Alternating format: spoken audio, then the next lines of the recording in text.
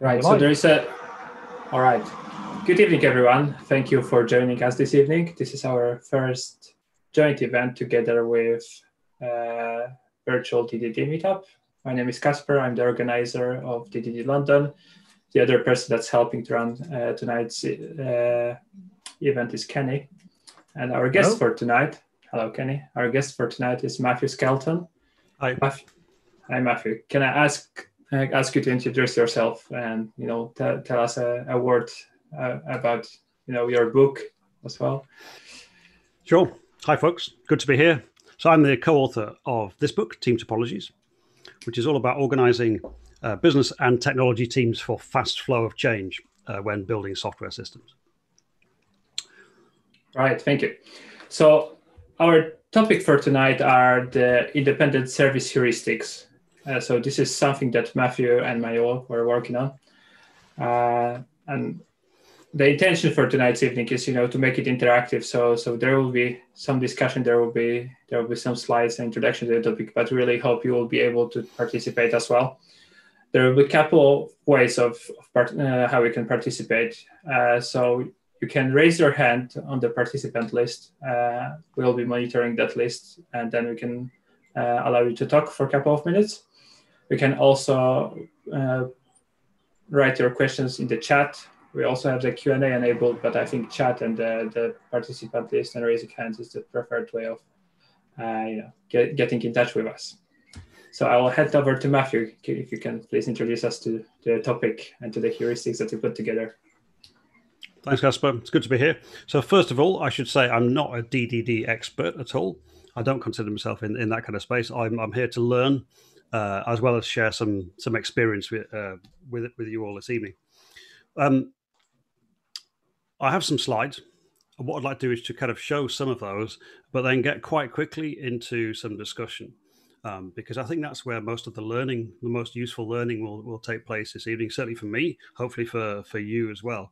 Um, uh, so I think what I'll do is share my screen. Bear with me one second. Uh, Casper, I think you need to allow, allow me to share my screen. All right. See. Kenny, I will have to yep. ask you. To... Now, yeah. Okay. Now you should. Aha. Yep. That's good. Thank you. So, So I've I've sort of jokingly called this DDD Lite. I, I haven't actually registered a trademark for DDD Lite. Don't worry about it. It's not it's not actually a thing. Um, but it feels uh, it feels to me like um, uh, what I'll show you is a is a bit like a very very lightweight version of some aspects of DDD, which is kind of why I'm here here this evening with with you as a as a uh, as attendees. Um, I'll go into some detail in a second. So here's the here's the book. This is uh, Team Topologies, and it's published by IT Revolution Press in September 2019. And IT Revolution publish uh, lots of well-known books: the DevOps Handbook, uh, Phoenix Project, um, Unicorn Project, uh, Project sorry, Project to Product, uh, Accelerate, these kind of books. And there's a brand new book out, in fact, today called Agile Conversations, which is uh, worth having a look at. So it's a nice family of books that all kind of relate to effective software delivery in, in a modern context. Before we go any further, it's worth just looking at this word topology. What does it even mean? So it comes from a Greek word, which means the way in which constituent parts are interrelated or arranged. So, in the context of team topologies, this is about how teams are interrelated or arranged. And so, any of you who are familiar with um, kind of DDD context will start to think, ah, yes, I understand how this is relevant now because if we're thinking about um, kind of bounded contexts and kind of domains, then we've got teams kind of aligned to a particular kind of bounded context or, or domain. And so the way in which we arrange our teams starts to enable a kind of DDD approach to kind of software architecture, software delivery, and so on. Um, just a little bit of context. Uh, the the ideas that um, that kind of uh, led up to the book uh, have been used in lots of organizations around the world. So, for example, uh, the, the, uh, the, the, the pre, kind of previous version of the ideas in the book were used at Netflix. So Philip Fisher Ogden, who's the director of engineering at Netflix, is uh, tweeted uh, I think a couple of years ago saying thanks for your insightful articulation of DevOps topologies and so on. They helped kind of to inspire Netflix to understand how to how to change their organization. And the earlier versions have also been used at places like Condé Nast, the large uh, international publisher.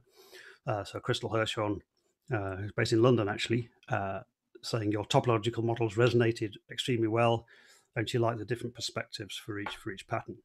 So they have been really useful. Um, and we're, we're, we're finding the, the material in the book itself um, also very useful. Uh, lots of organizations are telling us that they're, that they're, they're finding them very useful. Um, you could sort of see the patterns in the book as some tools for a digital operating model, at least according to uh, Charles Betz, who's from Forrester Research. So it's, it's the, the, the patterns. I mean, DDD you can argue is is should be part of your digital operating model a tool, if you like, in or a way of working in that kind of way, of, that, that future way of thinking. So I think DDD and and team topologies fit fit very well together. In fact, some of the some of the sections in the book were very inspired by um, conversations with uh, people in the DDD space, particularly people like uh, Nick Tune, who you'll be familiar with, I'm sure. A quick uh, a quick advert. There will soon be a free. You don't have to pay any money. Free um, PDF that we're working on, free download, which is using the team topologies patterns, but in a remote context. So we're, we're working on that at the moment, and it will be published by IT Revolution um, at some point soon. We're, we're basically trying to get that out as quickly as possible. So this it, we're doing that because we want to help as many organizations as possible to kind of get to grips with, to, to become familiar with remote ways of working uh, in this kind of pandemic uh, situation that we're in now. So have a look out for that. It's, we're not sure exactly what it'll be called, but it's something like Team Topologies Workbook for Remote Teams, something like that. Um, uh, and hopefully that, that that'll give people a, a, lot of kind of useful tips for for team working. Okay. So what I want to talk about this evening is what I call independent service heuristics. Uh, sounds a bit of a fancy title, but basically it's a set of rules or set of uh, clues um, that I think, well, certainly some organizations that we've worked with have used to try and help them look for possible independent services. So, possible domain boundaries, possible kind of bounded contexts, but without going all the way down into the kind of um, full on DDD uh, concepts and and, and kind of training and, and so on. So, kind of a, a first step towards a kind of a DDD approach. Um, so these are really what we call rules of thumb, clues for identifying kind of candidate value streams and domain boundaries. And we do that by seeing if these things could be run as a separate software as a service or cloud product. And here's a really key aspect could they be run? We're not saying we are going to build a separate cloud product. We're saying, kind of conceptually, would it even make sense to run it as a separate cloud product? And these, um, the, the, the independent service heuristics live in a GitHub repository, which is here. So I'll just share that with you. Just make it a bit bigger so you can see. I just send a link in the chat. I'll send a link in the chat. Good idea. Uh, so the GitHub repo is independent. Yeah, I, I did that. So. Oh, you've done it. Sorry, you've done it already. Great. Yeah. Mm-hmm. Um, so it's just here, and we've actually done it as a Creative Commons uh, license here. It's technically not source code; it's just it's just Markdown. But so you know, we're taking pull requests and and so on, um, and um, you can see here there's there's this checklist at the, bottom, and we use this checklist here to uh, to ask questions of potential sort of we, we don't use DDD terminology at this point in, in our in our in organizations we're working with because typically these organizations are completely new to to um, to DDD and, and, and, are not familiar with it. So we use sort of different terminology, but we we, we talk about candidate services, for example, or or sometimes candidate domains. Um, and So these are the, the current questions that we're asking, what we call heuristics, clues, really. Clues is a simpler word. Um, and I'll run through these in some more detail in, in a minute. So I'm not going to read all these out now. Um, but the questions so far, when we've worked with our with our clients and, and in training contexts, have have been useful. There's been some useful discussions, but I'm kind of here today to to kind of ask for some challenge, ask for some criticism or feedback on the whole approach, and specifically on these questions. Before we do that, I want to share with you some real world examples, real situations where we've used these independent service heuristics and then look at the kind of results that, that came out. Just to give you a flavor of the kind of things that um, that can help uh, how, how this how this has helped. So the first situation was um, a mortgage provider in the netherlands um, and when we ran um, when we used the independent service heuristics in this particular organization, um, there was a really good discussion, and uh, this particular company um, it, it, does a lot of stuff to do with mortgages, uh, so uh, personal mortgages in, in the Netherlands. One of the things they have to do is to mail out paper letters to people, and through the discussion, that was one candidate, potential candidate for as a separate service because it had very different, um, very different kind of operational characteristics because it's very physical. You have lots of printing and then putting into envelopes and things. The, everything around that, the people felt could be a separate, uh, could be a separate service. So with a separate team and a separate kind of domain model and that kind of thing. Um, they also had uh, a customer portal where customers could log in and see progress of their mortgage or their mortgage application and this kind of thing.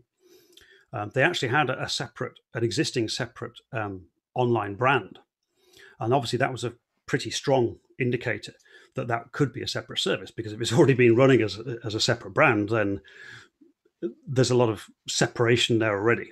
Um, so that that was kept as a candidate. Um, and there were a few other things as well about like a new a new loan agreement um, and document storage and a few things like this. So you can see the the whiteboard that um, that we used on the right hand side there. So that just gives you a bit of a flavour. So in the in the in a mortgage context, here are some things that that came out of this discussion based on those independent service heuristics. Um, the second example I've got for you is for um, a pensions provider um, in the UK.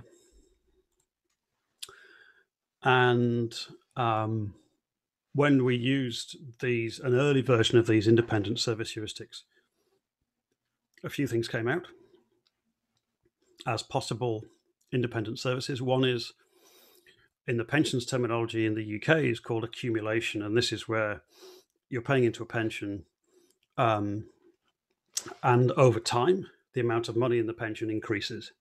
So the amount that you hold, what's called a holding, kind of increases over time. So your pension pot, your, the amount in your pension is getting bigger, and that's kind of in their in their world. That's one thing.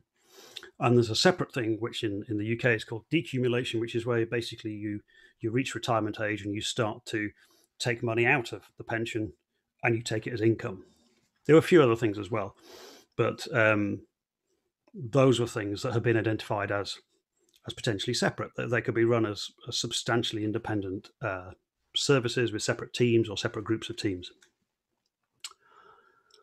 And the final example comes from work I did with um, uh, a government. Uh, it's not the UK government, um, but a very large um, a very large department dealing with uh, employment. And um, so, by the way, the, the, images of the whiteboards are deliberately kind of blurred out here, just so we protect the protect the innocent, right? But you can see it's a real whiteboard because it's got my terrible handwriting on it. Um, it was a really interesting session we had with in this government department because we had people from across the whole um, let's call it the employment department, um, including people from um, HR, so human resources, um, and, uh, and and all kind of different people from from this department, as you'll see from from this list of uh, candidate services that came out. So the first one was the HR um, spend a lot of time currently evaluating and classifying different jobs. And actually, if that could be turned into a service and done automatically, perhaps by using some text recognition and some AI and stuff like that, that would actually significantly improve, uh, significantly reduce the, the, the manual effort that they put into, uh, you know, creating new uh, job postings and, and and reviewing CVs and this kind of thing. Um, they also identified a possi- possibility of using of defining kind of um, some vulnerability scanning. So security scanning of containers and virtual machines and code and this kind of thing, kind of as a, as a service, the whole thing across multiple teams in in the organization. Kind of that's like an internal service, I guess, not not a customer facing thing. Um, a fairly common one, I guess. They also identify kind of infrastructure, cloud infrastructure as a service, uh, kind of self service. So that's kind of at a platform platform level. That's that's a fairly fairly common, fairly straightforward service, and a few other things as well. They've got a learning department, and they wanted to have people who had been on training courses get some real time feedback. It felt quite independent, um, and so on. And there's a few other different things as well. Anyway, so these are some real real world examples of where we've used that checklist, those heuristics, uh, to try and get people thinking about where sensible boundaries could be. So, at what stage do you evaluate such a checklist? When is it a good time, you know, to go through through this list and decide, okay, we need to separate service here? Good question. So, th- this was in the context of um, this was in the context of looking at how teams could be rearranged to help with a faster flow of change. Okay. So we're trying to. So if we're trying to get a fast flow of change, we're trying to avoid handoffs between multiple teams. We're trying to get a single team responsible for an end-to-end delivery of a, of a service or product. Mm-hmm. So obviously, in a kind of DDD context, we're talking about kind of bounded contexts and, and this kind of thing, where we're trying to we're trying to find these seams in the in the in different domain models or identify multiple different domain models and, and keep teams separate. Um, but as I said before, we don't use all of the DDD terminology, but we're we're heading in that direction effectively. This this was a sort of an early, the first step towards trying to get organizations to to look in a more DDD direction, start to think about you know what things are logically separate, what things do not actually need to talk to each other, what things don't, what things are have a very different um, you know set of vocabulary so it start it starts to head in a it starts to point face in a kind of DDD direction, basically. Great, thank you. So, I thought I'd take you take everyone on a bit of a deep dive into this into this list of the current heuristics or or, or um, uh, clues, if you like, uh, that we use. Um, just to give you some additional context. So, the first heuristic is could it make any logical sense to offer this thing as a service? Because some things you can't offer as a service. They're, they're, they're, they're more intertwined, they're, they're not separate. So, you know, thinking about this, whatever this thing is, is it independent enough? Would the consumers of that service even understand or value it as a separate service? Um, would it simplify would it simplify execution of something because if it if it doesn't simplify execution we've probably got the service boundary wrong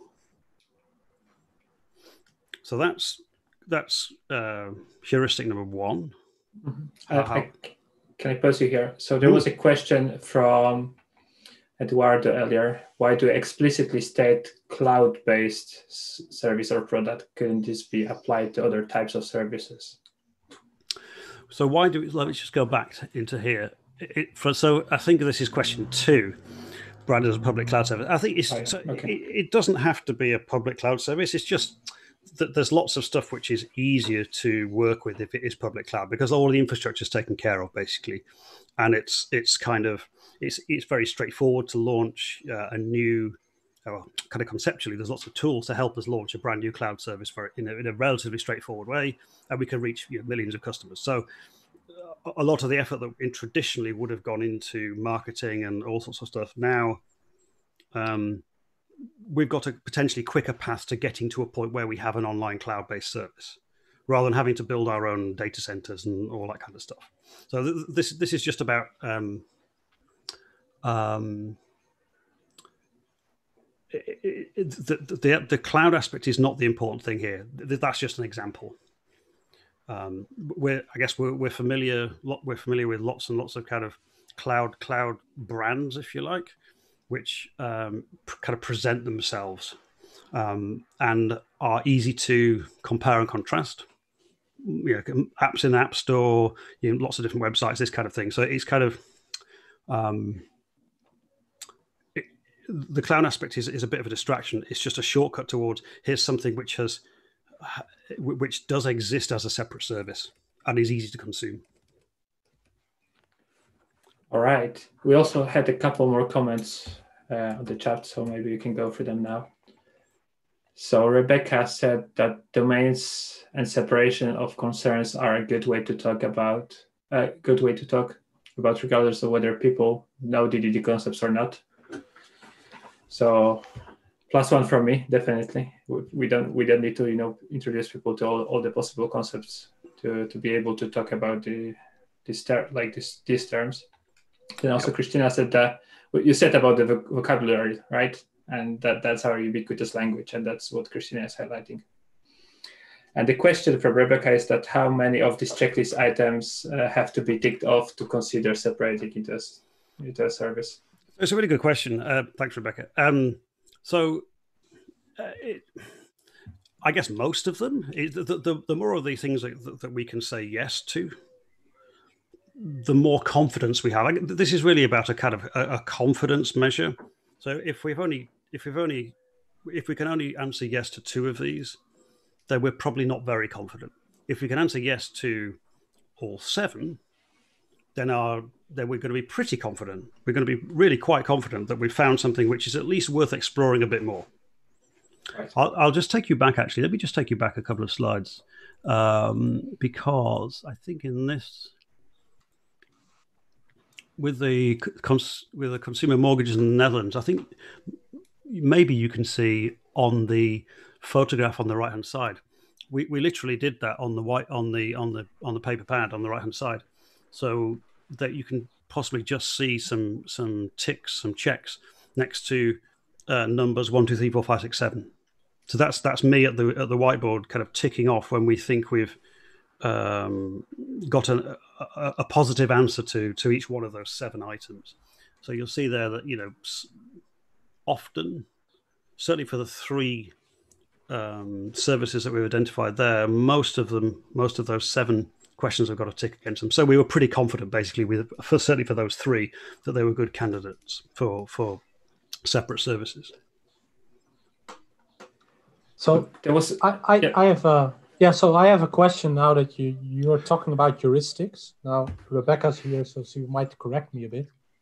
Uh, for me, a heuristic is something that you can take immediate action on. So, uh, what what's your definition of heuristic here uh, in this case? So for me, a heuristic would be um, when when is something an independent service boundary uh, so that would be the question, and then the answer would be well, if you can go to the heuristics, or I have them here as well. That's how I usually build them up, but maybe. So I think the, the heuristics here are are clues f- to tell us whether something is a separate service, whether whether it's an independent service. Mm-hmm. So it's independent service heuristics is heuristics that tell us whether something is an, an independent service. Yeah. So you you would the question would be when is something an independent service, and you would say, well uh, if it is a, if it makes logical sense to offer this thing as a service, it might become an independent service. So that's how you would state them. That's I'm kind of stating. And I, I, suppose if we get if we if we've got a yes or, or a check mark against all seven or all of the yeah, all of, of the course. or the majority yeah. of the criteria, then then that's telling us this is probably an independent service and it's worth us yeah. investigating a bit more or investing more time in really pushing that and seeing is it truly independent and and this feels like something we could actually kind of um, detach from other aspects of, of what's being built in the rest of the organization um, it's, it's to try and give us try and give us some um, I guess early feedback or early confidence uh, yeah, of course. Where, Be- where where we should invest our efforts, basically. Because it's still too complex, right, uh, to really know. So. So we have three more questions. Uh, one of them is how domains in how domain services can be aligned with revenue streams in practice. Will it will it not be often the case that revenue stream is generated from many services playing together? Uh, true. Yeah. So this again, this, this is these are just some clues, if you like. So I mean, certainly, I, th- I, think the the inverse is is possibly true. Let me just go back to the questions. Um, sure. So that's Christian. So thanks for that, Christian. It's a good question. Um, let me just find out where that question is because I can't remember off the top of my head. Here we go. Uh, revenue. So it's question three, isn't it? Um, so if if something if something could be a separate revenue stream, then I think that probably indicates that it is a good candidate to be separate. But the, the inverse is, is not true, as you identify, because you might actually need multiple different kind of services or teams in order to have a viable revenue stream. So it's not it's not that there's a one to one mapping, but but if something does have a separate revenue stream, or it, you could imagine how the revenue stream would work, then that could be an independent service because it might be small enough, if you like, to to um, to work with. It, so I, I, like the question. It, it's it's um, it it, it shows that kind of insight. Yeah. So so about, about the revenue that that popped into my mind the the the bounded context canvas from this uh, guy, Nick, right? he, he is talking about um, revenue, and I myself now I'm in the regulatory side of uh, a company. So would you say you you could only do this uh, because you're saying here could this thing be managed a viable cloud service in terms of revenue and customers? So I don't have that.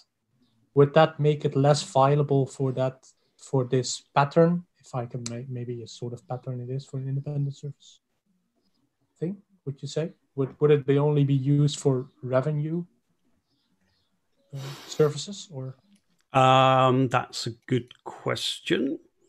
So i think as it stands um, so th- this this this is a good example of, of why I'm, I'm keen to get this kind of feedback basically because because because um, this at the moment uh, might might um, these questions as they currently stand might miss or omit or or, or, or, go around some kind of services, which which, which is unfortunate because because then we, would miss them out and we, we would miss the opportunity to identify those as separate things.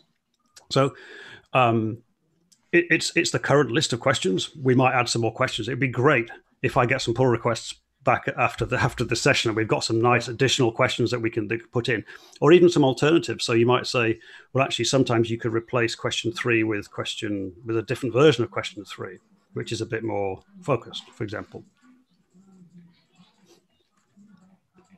Right. So we also had christina's uh, saying that uh, software as a service product is much much much much more than a service up and running for her uh, an element, uh, elementary part would be if it's sellable, would somebody pay for it?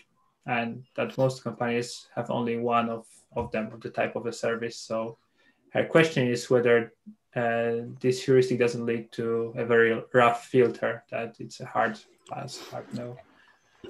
Yeah, for sure. I mean, it is a it, that's a it's a really um, it, it's a it's a very um, it's it's a very early way of trying to get organizations to think about independent services because lots of organizations that I go into have very tightly kind of coupled teams working on all sorts of things. Um, yeah. Not a clear understanding of what where the individual where the different value comes from, and so some of these questions are very almost brutal, if you like, as, as you said, uh, Christina, very rough, and so it's just a starting point to try and um, chop some of these out. So maybe maybe um, maybe one way of of evolving this list is to have kind of multiple stages. So we could have a kind of rough set of questions that we start with, and perhaps then, depending on the kind of service it is, there might be some that are uh, additional questions that are that relate to things that are more revenue generating, additional questions that relate to things that are more like government services, something that's not revenue generating, something like this. Um, maybe we need a flowchart. Well, maybe I don't know. Maybe.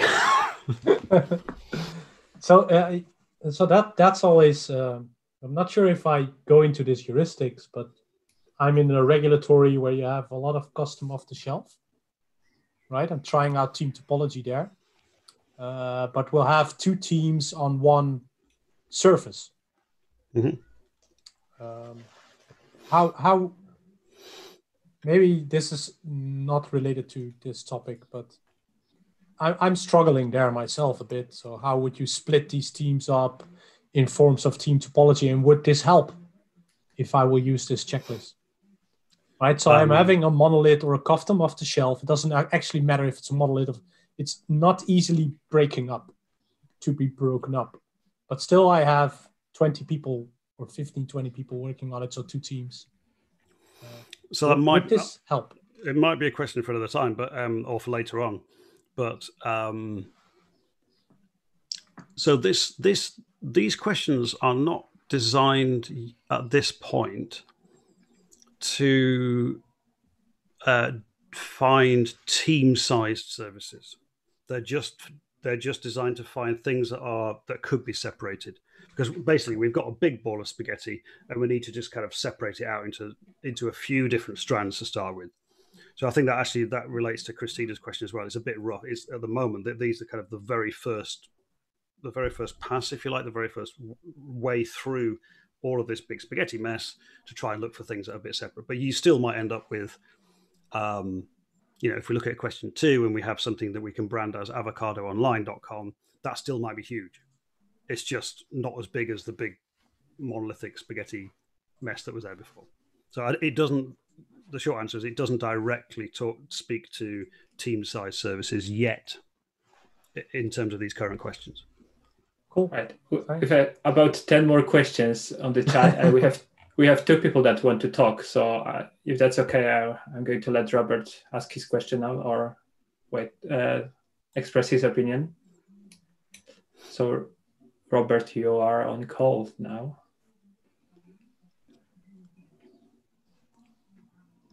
should be uh, he should be able to he should rejoin now and uh, allowed to talk. Can you hear us, Robert?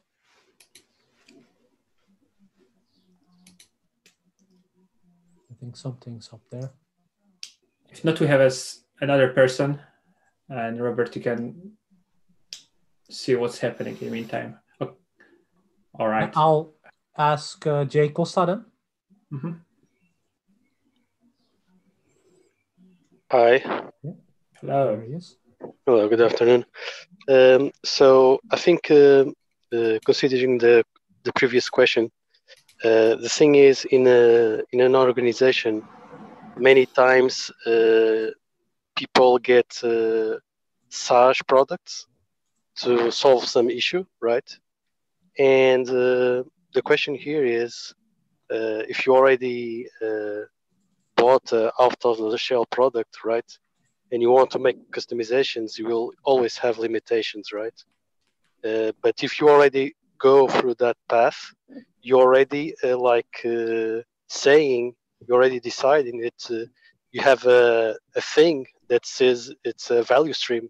That's why you bought out of the shell to solve uh, an issue from your organization.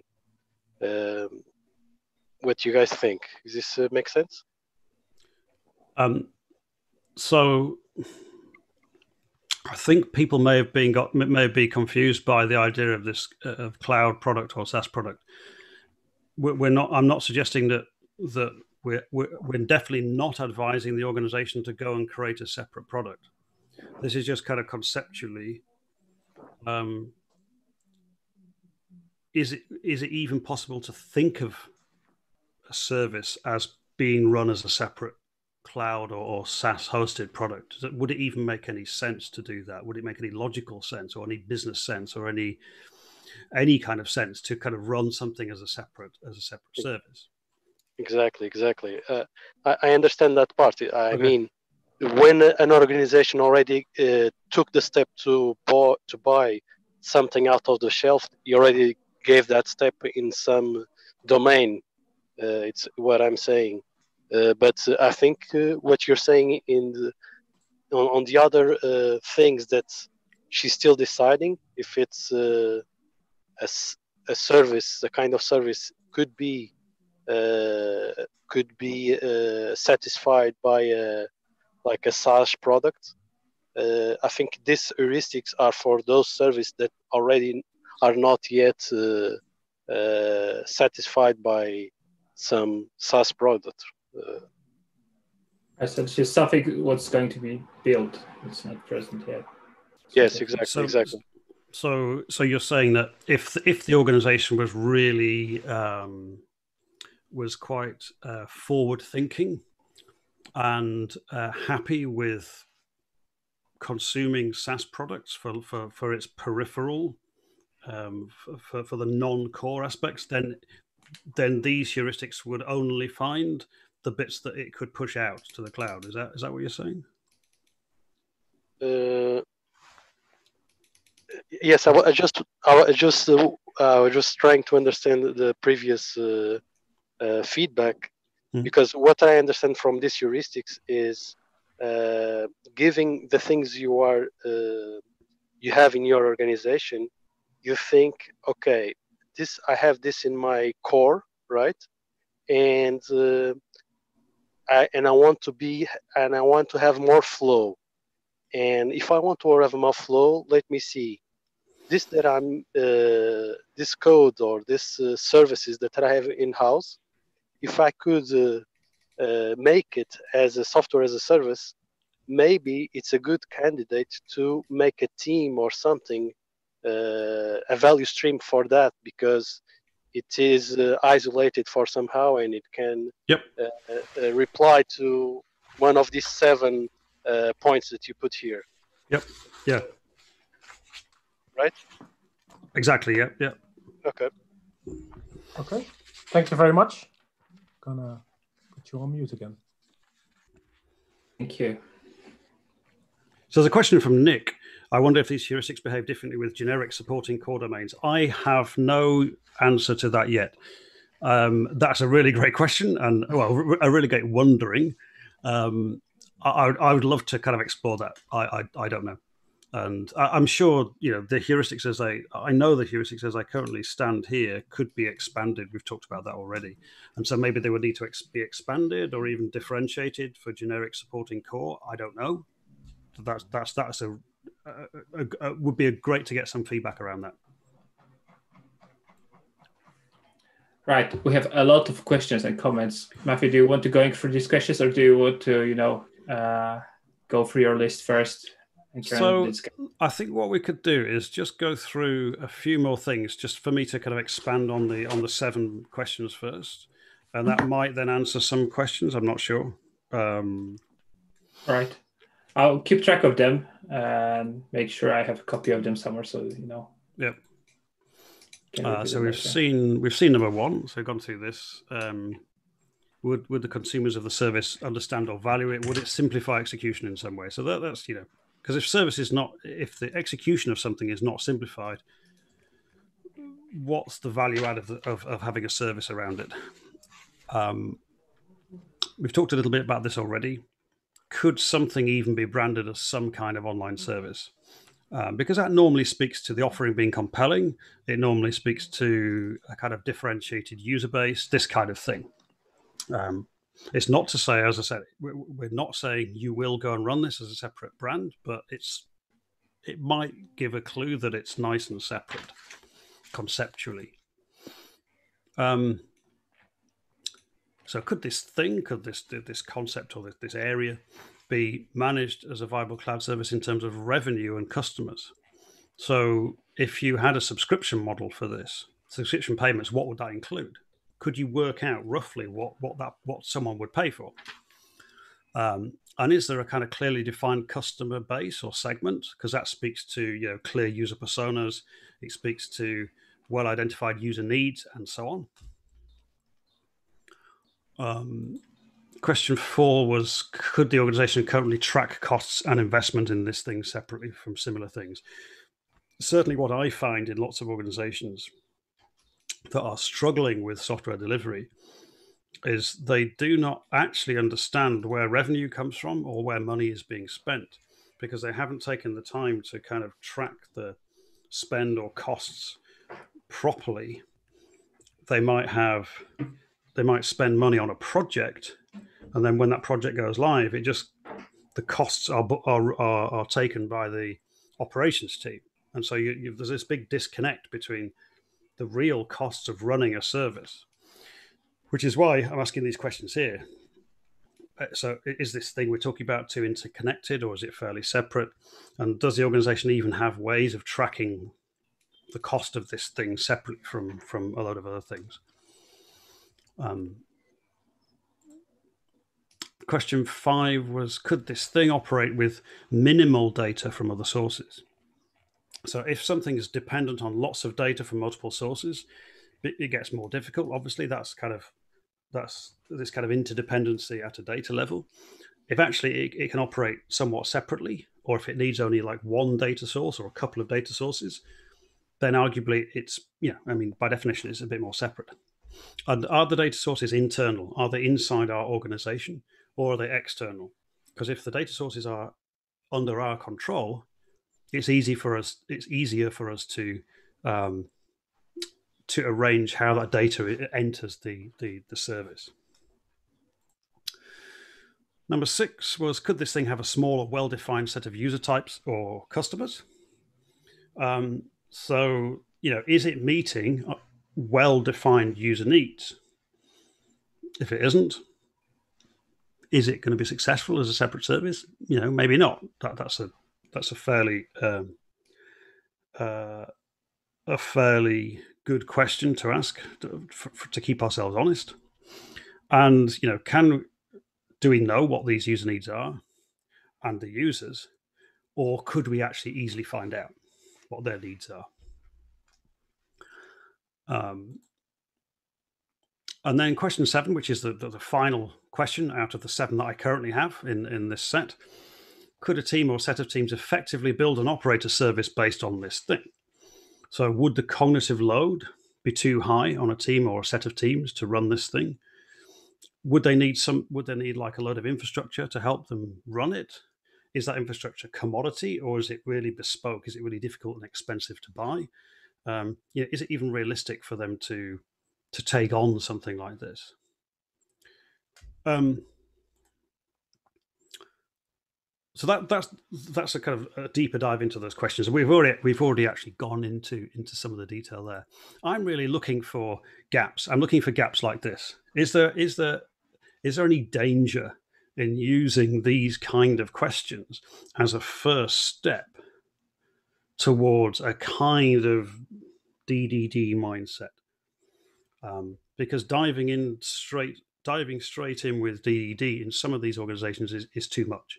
So that's why that's why we came up with this this set of questions, independent service heuristics.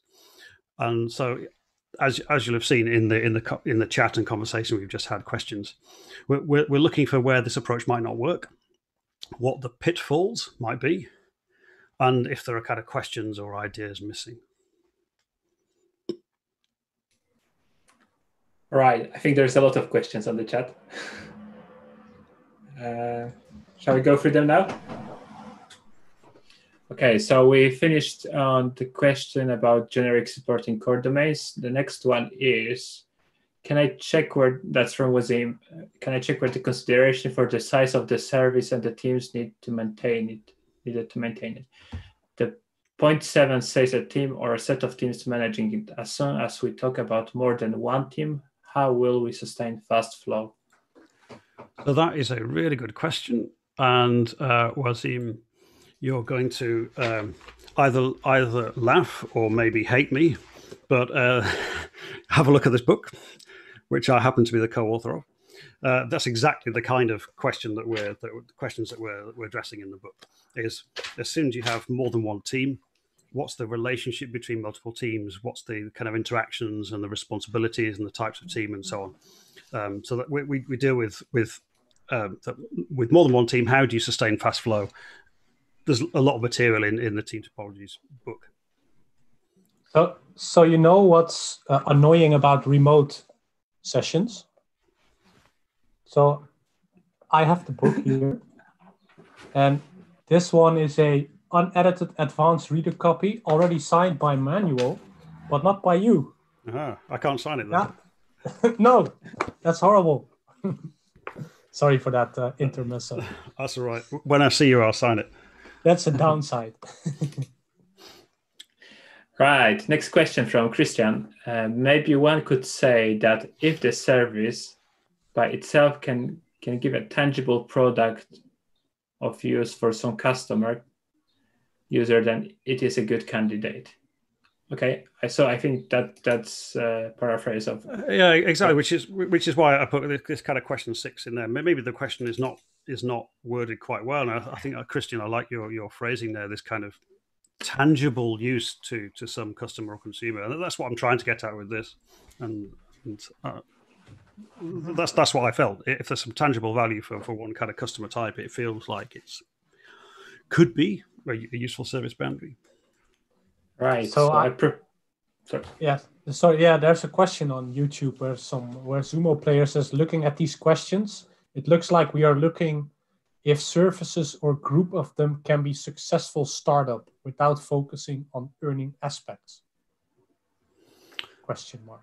Uh, so that could be one way to look at it. I think we did have a. I think one of the questions is around viability of the revenue stream, though, isn't it? I think. Uh, where is it?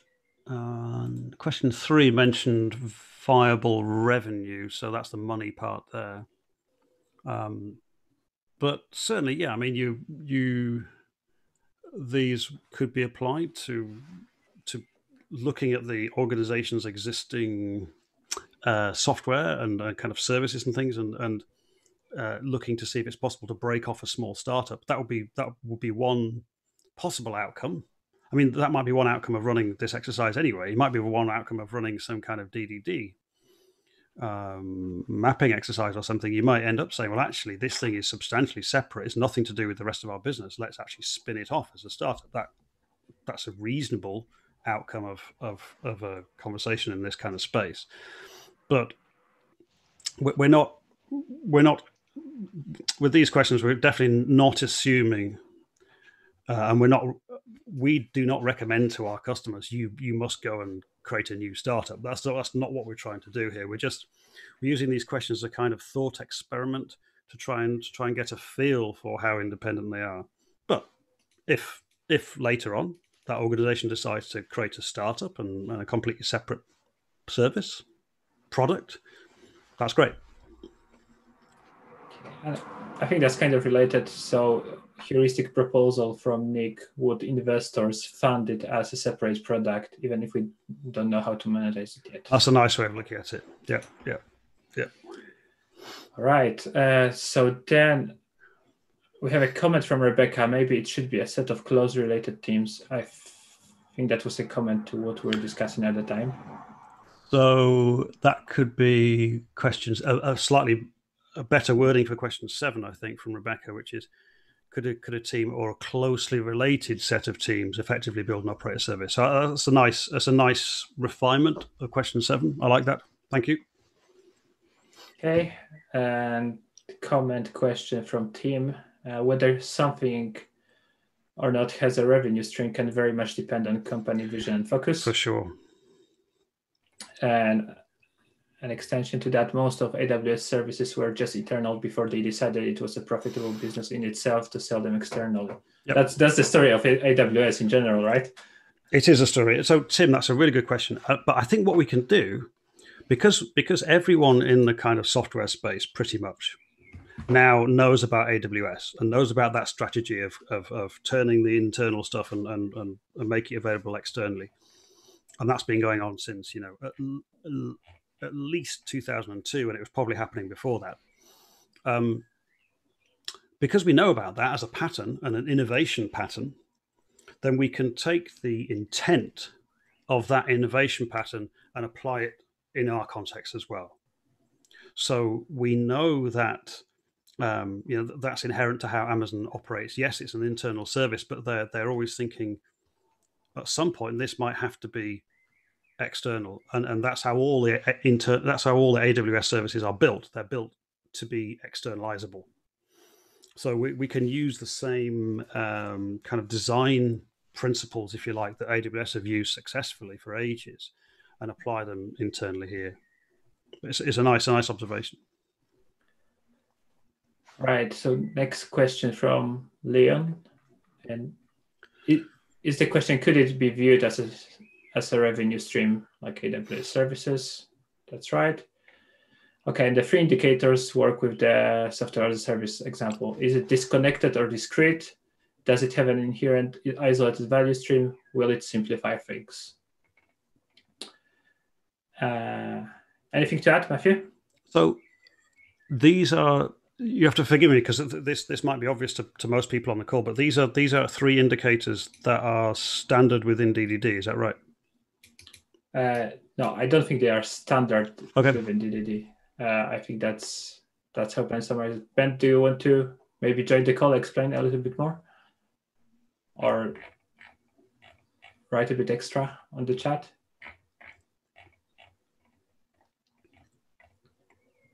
I mean, just just looking at those three things there. So, is it disconnected or discrete? Does it have an inherent or isolated value stream, and will it simplify things? I mean, they're they're, they're great. They're great. Um, yeah, as, as Ben says, indicators or, or kind of uh, questions to to to ask ourselves to to kind of qualify or identify whether something is a candidate for being independent. Okay, so we had Rebecca being excited about heuristics, and then following up on Kenny's remark on point three, could this be stated more as could generate revenue value independently and have a clear customer? Yep, that could make this point heuristic more clear. So just how to clarify the question. No, I like. Thanks, Eduardo. That's that's that's nice. Okay. What next? So Tim Tim's point here about um, mm-hmm. so being able to imagine something as a revenue stream is is good, but it's only a clue because a service can be useful to a business without being a viable business in its own right. So this this is clearly true. Um, it, it's that's why these are kind of the, that's why these are clues and not absolute um, black and white, yes or no. Um, it's it's the it's the it's the collection of answers to to a set of questions like this, which will give us a degree of confidence that we're heading in the right direction. Yeah, and, and to to relate on that, because uh, uh, to give this clue, could this thing be managed as a viable cloud service in terms of revenue and customer? On the other hand, there might be a competing heuristic here that says, well, sometimes I want to uh, especially in maybe a supportive or generic domain in this case, I actually want to not make it uh, in terms of revenue and customer. Um, but I, there, there you're in the spectrum to if you make everything more revenue, then you're probably also making things more uh, towards a profit. So separating stuff more, which might actually be good. And I'm brain storming here, right? I, I don't know myself, but I was more thinking like sometimes companies want to combine things together more as a more cohesive unit uh, to make it as a service, but not for a profitable sense, but for a supportive sense, where you say, well, this looks the same, and maybe we should combine it. So, especially, I'm thinking regulatory here, right? Because I'm now full in the regulatory, yep. where everything is more about cost saving than revenue. because they just need to they need to be regulated. And so there is a competing one here mm. i guess where you has on one hand yes revenue but on the other hand hmm, it, I, I'm, I'm not there yet but yeah, there's something competing here. Yep. No no it's, it's a bigger point. Um the two things there. The first one, revenue versus um, on the revenue point. Revenue is a very blunt instrument, like a big hammer.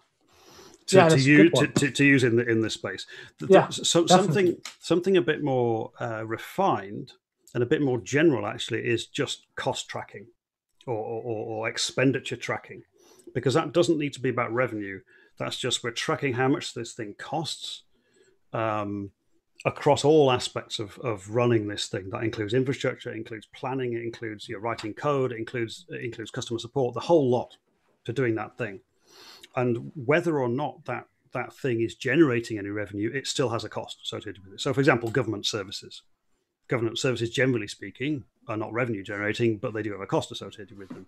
So we need to track that all the way down. So the word revenue here is is this big, massive hammer and actually maybe I could change yeah. the, the terminology to say actually we're, we're really talking about tracking costs across every dimension of, of that providing that service. Yeah, definitely. Yeah. So Rebecca expanded on her previous comment. So the, she was saying that the thing she was getting at was that if you need a, a different set of questions for different kind of services, maybe you need a decision tree and not just you know one set of clues. So and then yeah she was wondering whether there are different types of services that they, they that they have different questions to ask about. So that yeah, it, was it, to, to to comment on that it's been something i've also experimented with and sometimes with rebecca to have you start with a bigger question and then you get sort of like a tree downstairs in a heuristic map right? So you start with one question and then it's a, maybe a yes or no. It relates to another question and yeah it's a mm-hmm. decision tree but with all sorts of heuristic in it. Uh, mm-hmm. I'm actually experimenting that as a workshop format, uh, uh, which I discussed with Rebecca, and I actually like it that way. And I've done such a session at KanDDDinsky, and I've done it with Rebecca, mm. which yeah make it more so. Yeah, that way. Nice. I like that. And and we're hey. trying to explore this also on DDD heuristics, right? Where can we have these uh, flows of questions, like a sort of uh, checklist as well, what you say. Yep. If it's mm-hmm. possible.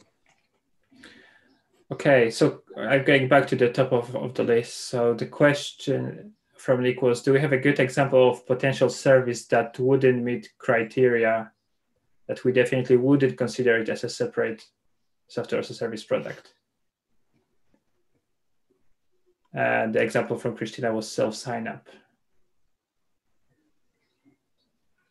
So I think that's that's about whether we would consider being something a separate service, like a cloud offering, if it's even a you know a viable thought to have.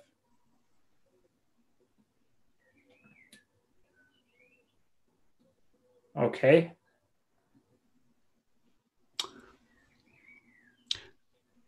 I'm just trying, to, understand, just trying yeah. to understand Nick's Nick's question. Um, so, is there a potential service that? So, I is see, there an I, example of a service that, yeah. that wouldn't yeah wouldn't be viable to run as a service? So, so effectively, what you're saying, Nick, is is are there are there questions here that would are there questions missing, which would actually still end up identifying a, a useful independent service but we don't have those questions on this list yet. And so these questions would only find a certain subset of candidate services, and there might be another set of candidate services which we would identify with some other questions which we don't have in the list yet. I think I think is what you're saying. So he added a comment at the end. Nick, you can join by the way. I'm thinking about excluding options rather than including options. Mm-hmm. Yeah. Something that would answer the question with a no. Okay, scrolling up, up again. There's a nice one here from uh, Wasim at 7:11 p.m. Okay. Um, an obvious heuristic. Can you see this thing being needed by more than one other application or service? Thank you. I was scro- I, I, was scrolling all the way up, and but I'm in a different time zone. Hey. 7-Eleven. Hey, I got time zone again. Yeah, it, it, it could be 8 11 p.m. for you, maybe, Kenny. Yeah, it is. Yeah. Um, could this thing? Could you see this thing be needed by more than one other application service? So that's an interesting one, isn't it? And because the the danger. So I, I, I like it to up to a point, but the the danger with that kind of um, approach is that we we might end up falling into the into the trap of of, of lots of organizations in the past where they went ahead and created a platform of lots and lots and lots of you know shared services which then didn't really meet any strong user or, or any other need in the organization, or they they half they half they, they went halfway to meeting a need. Because there's always a possibility that something might be reused by something else, but um, it, I don't know what what do other people think. It, it feels like it might lead you down a route where you just end up creating like hundreds of services because this thing might get used by something else at some point in the future, rather than having a much more concrete customer or user driven approach to to creating that as a separate as a separate thing. It, feels like it's good and bad, basically. So I, think it's a good question, Rosine, but I think it in in some organizations that that question might lead them down a path of creating far too many separate services, which then become very difficult to run. So Wasim is saying that he agrees with your concern. I was assuming the other services already meet your checklist hmm. items. Mm. So it's, it's, an interesting one that we might actually kind of include as a as a maybe there's opportunity in, in this independent service heuristics to to include some maybe some anti questions or some questions which which um, we should be, uh, be be cautious with perhaps, and that that that could that could be one there. That's quite a nice one. So I think that was also discussed later by Nick and Rebecca, where they were saying about yes and no questions, anti questions. Yeah. Mm. Uh, Okay, so Christina gave an example going back to the self sign up that it's a supporting service that uh, in itself doesn't have uh, any value without the rest, really. So it could could be you know a separate service for our organization, but on its own, it's really useless. Mm-hmm.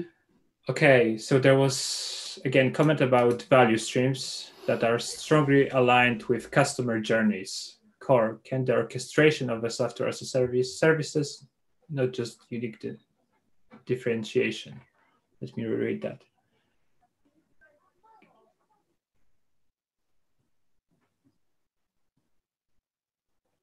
I'm not 100% sure. Is, is, it, is, it supposed to say the core can be the orchestration of SaaS services, not just the unique differentiation? Would that make sense? Okay. Uh, Sa- Salish, can you please expand on that? And we'll, we'll get back to it. Okay, uh, next one. Oh, there is a comment. Oh, there is a comment from Christina saying that she saw products doing nothing else but orchestrating. Fair enough.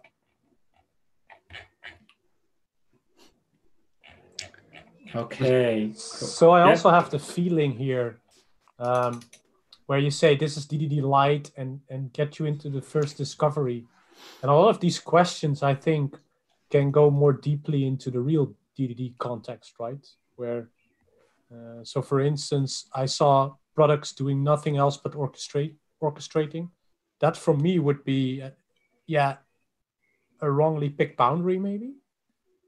But I'm not sure if if if, but maybe you can you can relate on that, Matthew because you call it DDD Lite, when do we need to go from this to maybe more into depth DDD? Well, that, it's, that's it's, now popping in my mind. Yeah, no, exactly, exactly. I mean, it's, it's, it popped in my mind as well, and and I'm I'm still exploring. Yeah, I, am still exploring that journey, if you like, because we, have the questions as they exist, and maybe a, slightly expanded version of the questions that clearly have been useful to, to some organisations, but that is just the sort of first step. How how we bridge from that into you know into the the proper DDD world. I'm still exploring that, and so if, if people have got ideas, that'd be great. Um, clearly needs to. Um, I mean, I'd definitely be interested to hear from people if they think it's actually taking us away from DDD, if it's, if it's heading in a different direction, because that would be worrying for me, because I wouldn't want to do that. Um, that's why I was saying, you know, tell me about the gotchas, tell me about the broken bridges um, that would actually prevent an organization from getting getting across into into kind of DDD world by starting off with uh, with these with these uh, heuristics. I have a question. Like from your perspective, why is it hard for organizations to get into DDD? What what what's so hard about it? And I understand it's you know it's a very broad topic, but maybe if we if we can define what what is hard about it, maybe we can simplify these things.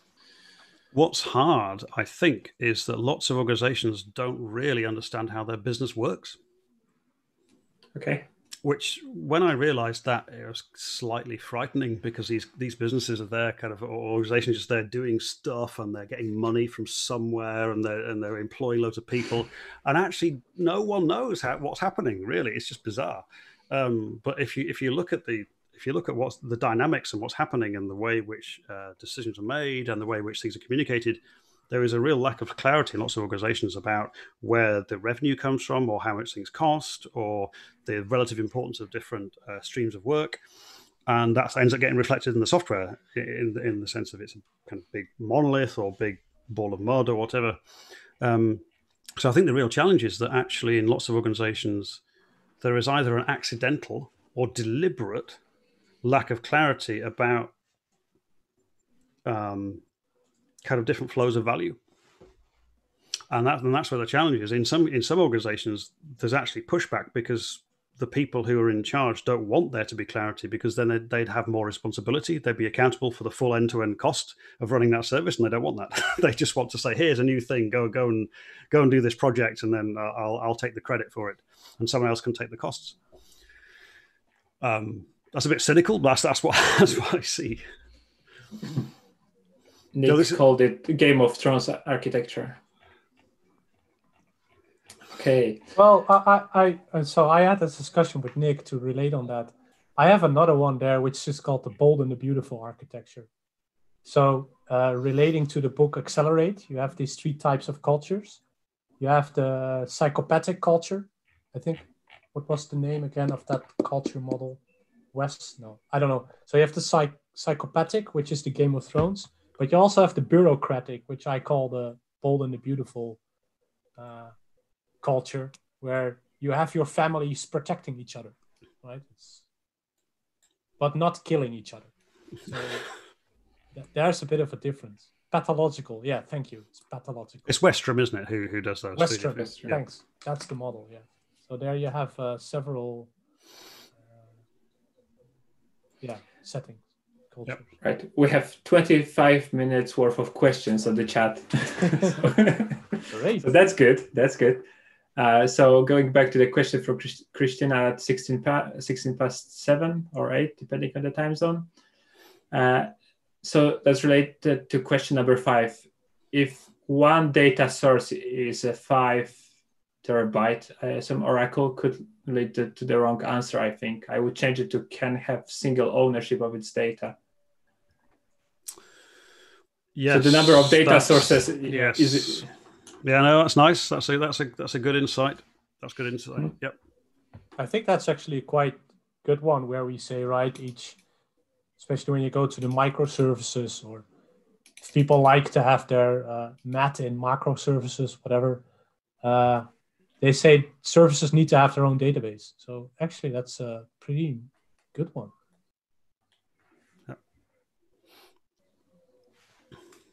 Okay. Uh, comment regarding gaps from Christian. Uh, often most service boundaries are obvious for for those start to establish rather than diving deep into the heuristics. Maybe also keep in mind the heuristic about special vocabulary the users name concepts differently in this service in this service candidate. Yeah, that's a nice one. I like that. So have we got different names for things in this area compared to another area? Um, yeah, I like that. Dif- so that's effectively diff- is does different vocabulary exist in this area compared to another one? That's a nice one. Vocabulary. Okay.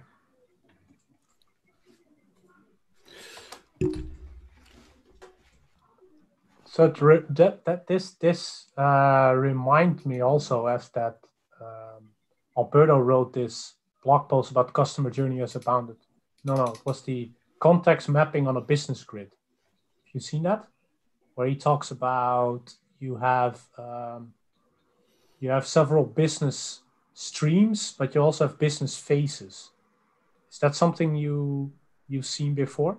So, for instance, uh, you can. Uh, I'm in regulatory, so I'll have different uh, different phases of reporting, but for different private banking or public banking. So these are all business streams, but in the flow itself, it passes several phases. Have you? Is there something where?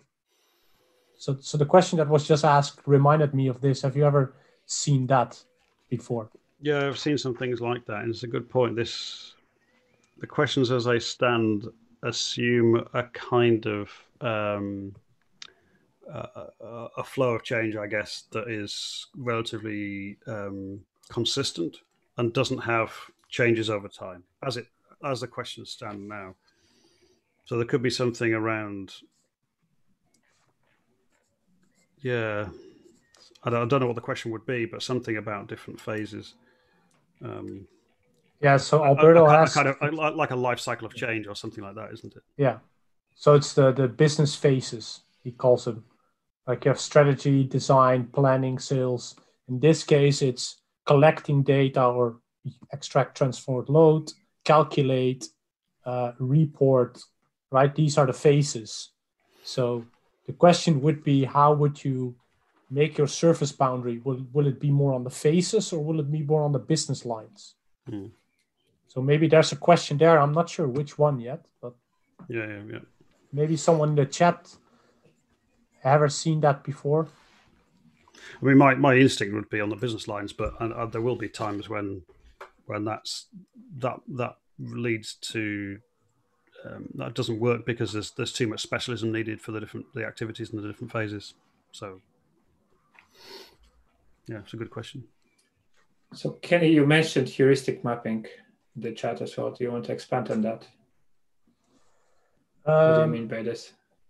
So it actually, I've been talking for the last two, three years, I think, with Rebecca about heuristics. And I've been to a workshop finally this year and been to some hands-on. Last year I run a hands-on at KanDDDinsky, where we first go into um, mapping, but at some point, and it's something that Rebecca does as well, you start with a question and you have like stickies right? I have one here. You start with one question on top. Maybe I can do it here. So you start with one question on top, and that will have two outcomes, right? Like this.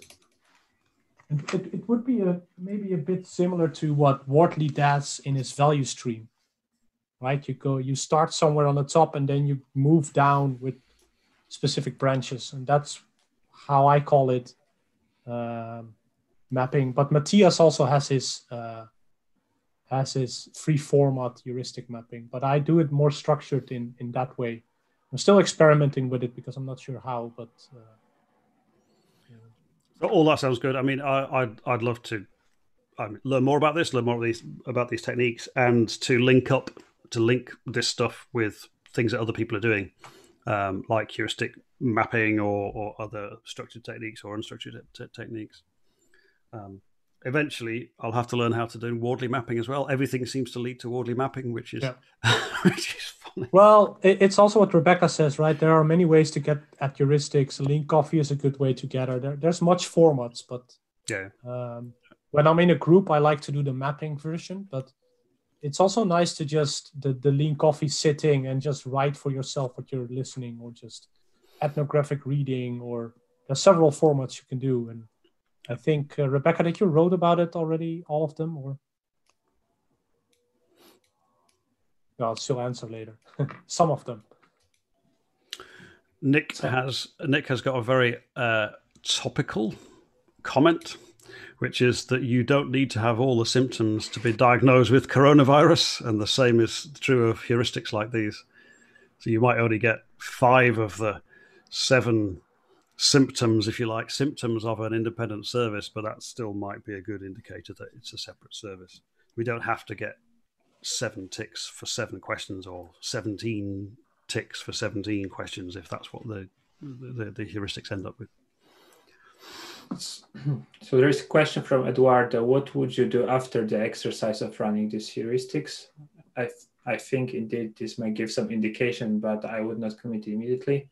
Maybe we can identify the idea services make no sense, but if it makes sense, should we go into a more depth DDD exercise? So is, is it like a first filter? It's a kind of it's a kind of first filter. It's also to get people thinking in the right way. To be honest, it's also a way to um, get people interested in DDD. Because one of the things I say at the end of this, uh, using this, is look, this is a very lightweight, a very kind of introductory way of thinking about kind of boundaries and domains and this kind of stuff. And actually, here's a book that was written in whenever it was. Where was it? 2003. And it's got this nice light blue cover. And uh, there's various groups and people who are really kind of uh, experienced in, in this in, in DDD, and and you know you should get involved. And um, so so that's at the moment that's that's kind of a, a next step. Um, in in some of the some of the organizations that we've run this in, they have they've taken uh, some of these candidate services that we, we've sort of identified, and then explored that further, and pushed pushed it effectively, pushed the the the the possibility that that is an independent service with with separate teams and so on, and separate as we've seen, separate data, separate kind of separate, almost separate everything, and um, they've gone ahead and, and tried to tried to effectively falsify that hypothesis. They've, they've, they've gone ahead and said, uh, let's try and prove that this thing is not a separate service. Let's try and find the reasons why this could not be separate and use that as a way to try and then, then push ahead with it. And if they can't find, if they, if they don't find any problems with, with that approach, then effectively then they've, they split that thing off. And, it, and it's enabled them to have a fast flow of change in that area and then and then they'll and then they'll do it they'll they'll do the same thing with the next candidate service. And over time then they can work across across a, um, a, a, you know an enterprise estate or an organizational estate of services and software and over time gain faster flow in these independent areas. There still might be a, a bit in the middle which is monolithic and difficult but they've they've achieved some benefit by having having separation in, in in multiple areas so yes, it, it's a it's a first step in toward towards trying to to find and do something about these separate um, separate domain boundaries and business areas, basically. So, question from Tim. He says it's unrelated, but I think it's very much related. So, if you were to start helping a new organization, what level of domain discovery would you do before checking these heuristics? You hinted that these are done re relatively early on, but I imagine they uh, that they could be hard to answer from. What's the what's the what's the timestamp, Casper, on the question? Seven thirty-eight from Tim Mortimer. Thirty-eight. Okay. Um, uh, so, if you were starting to help a new organization, what level of domain discovery would you do before checking it? So, at the moment, um, I wouldn't do any domain discovery because, like I said at the beginning, I'm I'm not an expert in DDD, so I don't feel that's partly why I'm coming here today to learn some stuff. Um, uh, I imagine that it would be a good thing, and at the very least, I imagine that uh, you might do that domain discovery uh, immediately after an exercise like this with the independent service heuristics.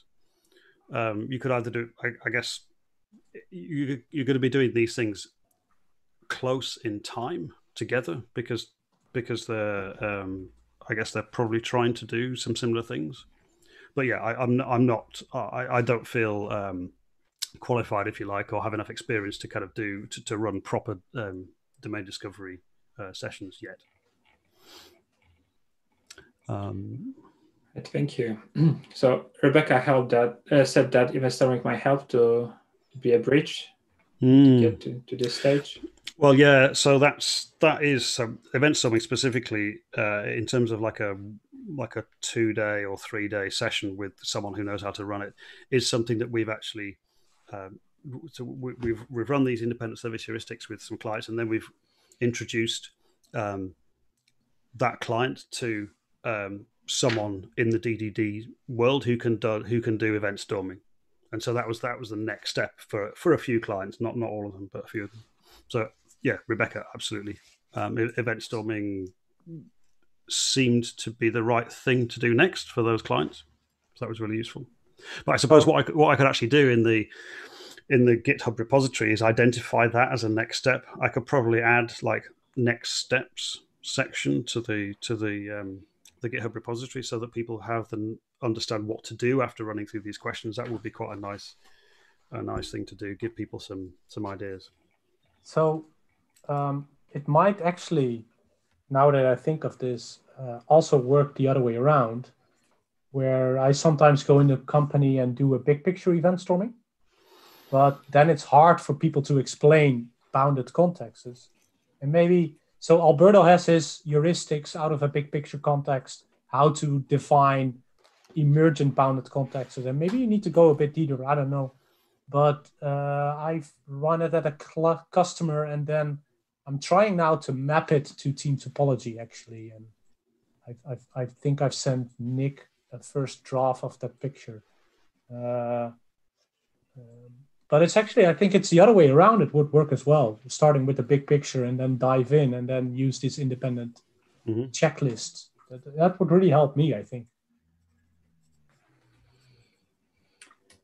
right so there's a question from hamad uh, have you found any limitations of ddd as yet that's quite generic or a broad question. Um, right? So that's not really a question for me because I I, yeah. I, I, don't consider myself uh, any any really qualified to say much about DDD. It's a question for other people. I'd love to know the answer to that. if, if, anyone else can can be really honest about any limitations of DDD as as it as it's currently practiced. I think one of the things is that the entry barrier is quite high. It's quite hard to get into, and there is a lot of like you know knowledge and uh, experts in the community and so on but it's not as easy to get into and people are arguing and not everything is clear. So that's these are some of the things that for example nick is trying to you know make simpler for people to get into so. Maybe that's not the limitation of the ddd itself but that's like what stops people from getting into it from my perspective yeah I mean that's that's partly why I wanted to, to run. Well, it's great to, that you invited me to run this session today, just as a as an, an extra option for thinking about kind of how to get into in, into into the DDD space. Um, so I mean, hopefully it's useful for some people. We've now got nine. I see ninety nine new messages that I've not yet read. This is amazing. it's just Kenny chatting with Rebecca. Right. okay, orchestration as a service. There is a real uh, software as a service product where you can create a clickable customer journey. Uh, now we are not knowing how the business. Okay, so I, I think there is a separate comment from Christina. So okay. not knowing how the uh, how their their business works is the real issue. Nobody should start splitting teams before clarifying these points. So this is a really good point, Christina. I'm really I'm really glad you made this point because um, that actually goes to the heart of why we came up with these independent service heuristics. Because Team Topology is the book. Um, is you know is talking about how to arrange teams for fast flow of change. Um, that does kind of assume that the organization knows what those fast flows are. And actually, in quite a lot of organizations, like I said, they, they they're just not aware what what those kind of sets of flow actually really look like or should look like. And so we can't start splitting up teams, like you say, before actually really understanding how the business properly works or should work. Um, and so, yeah, independent service heuristics were there to try and to try and help organizations to start to understand how their business actually works effectively, to start understanding where the different customers are, where the different flows of change are, where the separate service boundaries should be or ought to be or really are already, and so on. So I, I, that's an absolutely spot on point from uh, from you, Christina. I think that's n- nobody should start splitting teams before clarifying how their business works.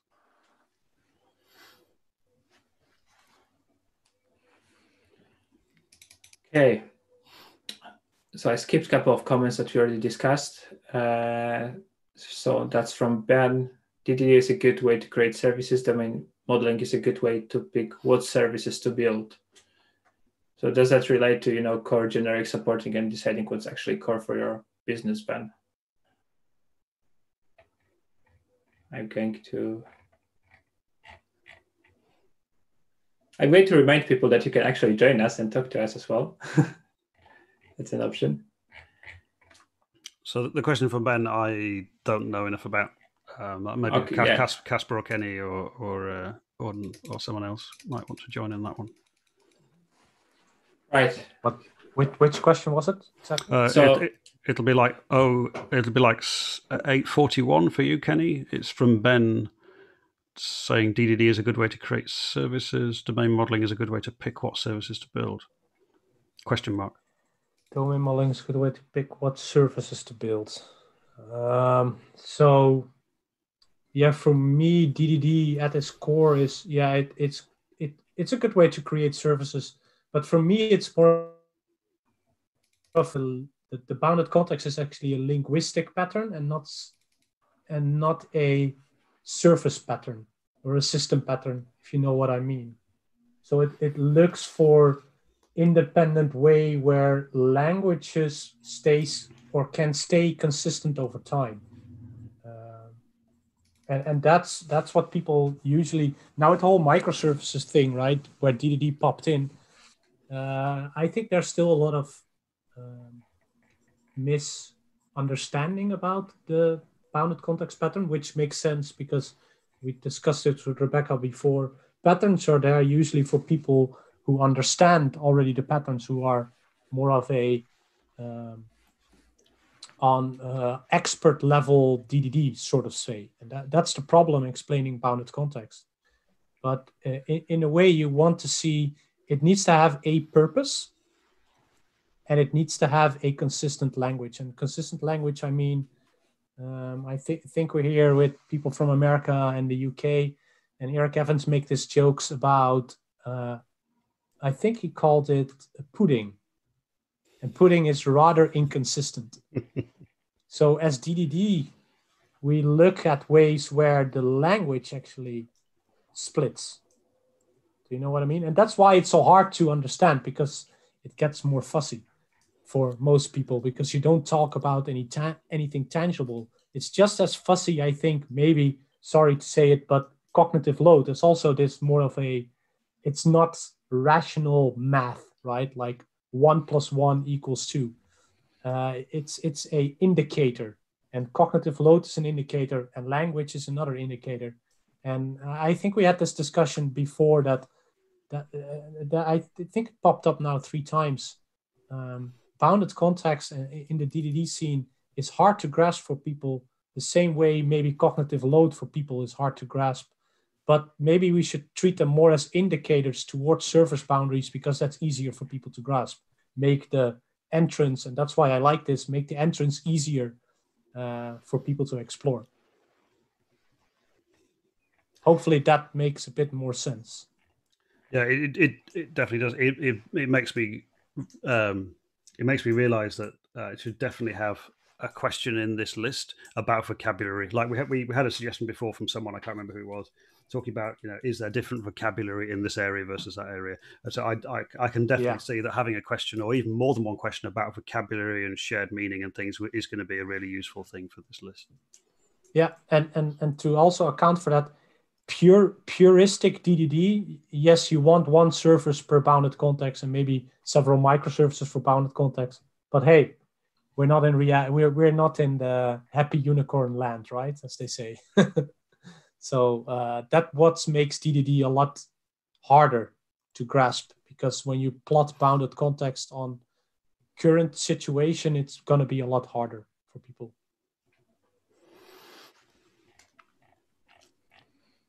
So I hope that answered that question. There's one small maybe point. Nick or Casper had something to add. I'm not sure. I need to make one small point about your, your comment, Kenny, which is that the word pudding has about a hundred different meanings inside the UK. Never mind in America, right? So it's well, it's it's uh it's a good conf- uh, Eric Eric Evans explains it right. He went to his UK friend in America, and UK friend asked, "Do you want pudding?" And he said yes. And then he got dessert, so not the actual pudding. And that says, well, for me, I could still eat the pudding. But if you think of it in terms of service boundaries, then a surface might not be able to handle a different pudding or a different type of pudding. And that's that's why the language goes in and the consistency around published language. I actually like that quote. We have a lot of them in the Netherlands too, and I think a lot of countries has this inconsistency in language uh, jokes. You can ask, right? you can ask Matthew what tea means in Yorkshire. So, see, here we go. yeah.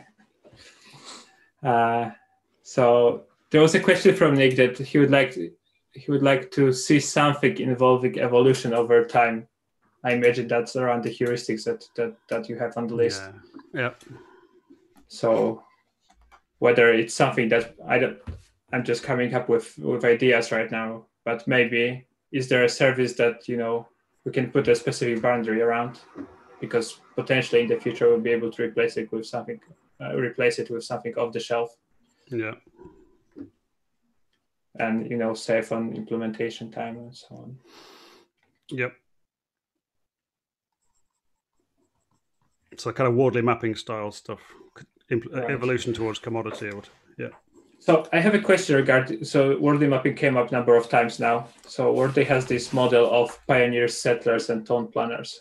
Uh, what he is saying that for each of these, you know, types of uh, types of users or team members, uh, you, you will have different composition of teams. And he's saying for pioneers, for example, you would have small teams that can, you know, uh, just research and development and he recommends like say three people in a team which which isn't in line with what team topologists say and on the other hand for town planners for you know just running the operations and having like you know uh, large IT organizations where they just need large support teams and so on. That's again not not, not that's not in line with the team topologist model that you, that you presented in the book. So I wanted to ask your opinion on that how, how these two models of pioneer settlers and town planners and depot topologies align or where they are applicable and where they differ. Well, that's really interesting because um, from our point of view, we were quite influenced by the Wardley mapping stuff. Um, so in team topologies, we, I mean, this is a little bit, little bit off topic, but um, we, we talk about different uh, team interaction modes. And so there's collaboration at certain points. So two teams working closely together um, to discover something. So that is the pioneer in the kind of pioneer space, we're having to evolve something very, very quickly. We're, we're just mm-hmm. getting something done. But then after that collaboration is finished, then we're expecting to establish something as a service, which is more like um, settler okay. or, or, town planner, depending on how you arrange it. Um, and then you've got the kind of um, you've got the enabling team acting in a facilitating way across multiple other teams to try and um, detect where there are problems, detect detect where we're where we need to change how we're using technology, or change what kind of capability we've got in the team. So that also speaks to more like kind of the town planning bit, but also to the the whole de- um, detecting when when we need to uh, switch and to sort of you, to to consume the the um, the commodity component or whatever. So instead of building it ourselves, we actually now need to consume this as a service from outside. And so we've we've got we've we've definitely we definitely were conscious of um, the Wardley mapping stuff because we wanted to make sure that the the way in which teams interact should exactly enable an organization to look at its environment, to look at its internal and external environment, and be able to adapt how the teams are composed and how they interrelate, so that they can actually take advantage of you know changes in the in the in the technology and business ecosystem. So it's I, I'll, I'll, I'll probably follow up with you separately anyway on that. It'd be interesting to see to, why why you why you took that away from uh, from your reading of team topologies, and maybe that's something that I need to, or me and my co-author Manuel, we need to kind of expand a bit and and and and bring to the surface a bit more. All right. Thank you. Okay. Uh, so there is a bunch of links in the chat from Nick and Rebecca and Kenny as well. So Rebecca is saying uh, that there are many ways to get at heuristics. A Lean Coffee is a good to, uh, way to gather some heuristics too. And Rebecca is suggesting we have an online session exploring different heuristics. So maybe maybe that's a good idea. That that's what we can do next at this meetup. Right. So I maybe I can just recommend people to you know review the links that Rebecca posted. Maybe can you, I think we can add them to the uh, to YouTube to the com uh, to the description later on, right? To include all the yes, all the we can. And I will send the chat, uh, save the chat, and uh, okay. I and share it. I'm still have don't have a solution for that yet. Easy, but all right. So Nick said that he wrote some stuff about capability aligned versus product aligned uh, some time ago. So that's another link that's on the chat. What else do we have here? So there's an interesting question from Christina uh, here, which is so there's some good questions, but these questions are not going deep enough for me. Um, okay. But if the first goal is to understand what my company is doing, it's a very good start. So thank you, Christina. Some some good points that you're making. Um, I that, that doesn't surprise me that the the questions aren't going deep enough because um, that's that sort of fits with the nature of these questions and how how I've used them so far. Um, because it's it's for organizations that are at the very beginning of their journey in terms of understanding really understanding what what how how their own business works and getting started with approaches like you know DDD. Um, but I guess it would be nice if the if this list could kind of expand and become more useful to people so that it does go a bit deeper and and and meets I guess some needs that you're thinking about yourself so that you could use these in some uh, in, in a bit more bit more of an involved way maybe in your organization or organizations you you work with. So i mean i'm i'd be super super happy to see this this list evolve into something that is a bit more uh, is a bit deeper. So comment from rebecca it would be good to gather some info about what people actually do and the answers that they have to these questions. And i think we could learn a lot, a lot from that too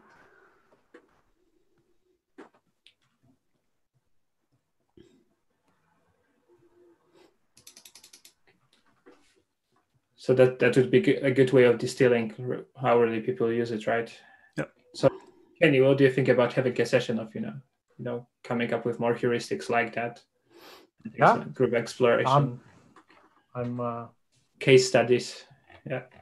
I'm trying to do that uh, with rebecca i asked her a couple of times. Even had a question right about what is a heuristic so uh, many times but I definitely, and, and that's one in the chat that Rebecca says, uh, dddheuristics.com. We try to capture all, all sorts of heuristics. So uh, it will be fun. It's GitHub, it's open, it's also uh, Creative Commons, and people can add it there. It's a Jekyll plate. And uh, for now, it's just sharing and dumping. And at some point, we'll start curating. And I'm actually trying now to make this um, decision tree for event storming, for instance. I'm just experimenting with this because that's more of my, uh, I have a lot of knowledge there. the other parts. There's a nice um, comment from Wazim who says, "I like this heuristic checklist. At the minimal, it will, at a minimum, it will avoid pushing us towards creating many small, tightly coupled services which are hard to reverse." And I think that's a it's, it's a good point. We're, we're, we're trying to we're trying to avoid making one of these one of these big distributed monoliths effectively. Yeah. Uh, right. So comment from Christina is that challenging decisions should be a best practice. I agree with that.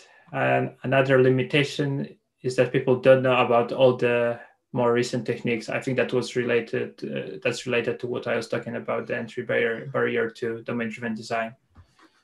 Uh, that people are just now not aware of this all, all, these new tools and techniques like event storming. I agree with that. Oh. So, so um, just to also, we're trying to set up at the virtual DDD. I'm talking to see see if we can set up resources and uh, curate resources and get some for people to get some entry point level, and, and this would definitely help. But we're still looking for ways how to set up these resources correctly in one uh, because there's there's all over the place resources, right? There's GitHub pages and everything. How can we collect all these and curate it? Hopefully, we, we can put it onto one flag towards all these sites that is already there, of course. Yep. So how how much time do you have left, Matthew? I just want to. Uh, I can just wrap up a few different things and point people. There's a couple of things I want to show as well, and then mm-hmm. then then then we're done basically. Um, I just wanted before we before we go any further, just want to thank everyone for all the all the input. It's been really really useful for me. Hopefully, it's been useful for you. Just the discussion as well as seems seems to have been useful for for lots of people. Um, basically, if you've got any more views or, or input, then uh, you know send us an email if you want to info at teamtopologies.com or you'll find us on Twitter and LinkedIn. Just search for Team Topologies. You'll find us there and see what we're doing and, and give us some um, give us some feedback. Um, oh, I should I should give you the oh the, the, the link to the GitHub repository is in um, is in the chat, but I'll just go straight back there right now so that you can see it. So if you just search GitHub for Team Topologies, again, you'll find us there, and it's called Independent Service Heuristics. So you know, send us a pull request or, or, or some comments or whatever, and, and we'll um, we'll we'll look to incorporate lots of these good ideas. Um, a quick a quick shout out for some training that I'm running on May the 22nd, which is a Friday. Uh, running some training for uh, uh, that's focused on team boundaries and architecture for fast flow. So we've got uh, 15 people uh, in total. I think we've got about six uh, spaces left on that training. So if you're interested, head to teamtopologies.com slash events. There's a bunch of other training that we're running as well um, all different different kinds of um, aspects around kind of organization design and software delivery. I mentioned before this book, uh, which will be coming out soon, published by IT Revolution Press, the people who published the Team Topologies book itself, and it'll be a kind of workbook with some exercises and practical things around uh, remote remote teams. And if you still want more, then sign up for some news. Uh, teamtopologies.com. We've got a newsletter, and uh, we don't we don't spam you well, we, to be honest, so far we've barely sent out any newsletters at all. So we we probably need to send more. But um, you, will get some useful information about when when things are happening. Um, and that's what we look like. In case you can't see on the video, I'm on the left and Manuel's on the right. Uh, so yeah, just thank you to every, thank you to um, thank you to Casper and, and, and, Nick and Kenny for organising and running it, and thanks to everyone who's kind of chipped in and asked questions and comments and things. It's been really useful for me, really really interesting. I really really appreciate it. Thank you, Matthew, for preparing for this session and you know spending time with us. I know you it, it's challenging with a baby at home and so on, so I really appreciate that. Okay. Do we have any more questions? I know there was discussion what is what is the difference between uh, domain modeling and DDD, but I think we can park it for another time. Right. So a lot of thanks from from people. So I think that was useful. And thank you for the participation again. I hope we can do another joint event soon with virtual DDD. Yeah, let's run that uh, uh, heuristic hunting thing. So, um, shall we uh, close the stream and wrap up? So sounds good. Thank you. If anyone haven't seen, well, virtual DDD spams, as it seems uh, last Friday on the meetup page. But this Friday we'll have a whole day of conferences. So uh, check it out at our site and uh, hope to see you next time. And uh, that was it. Thanks everyone for coming. And I'm going to stop the live stream now and we'll talk after.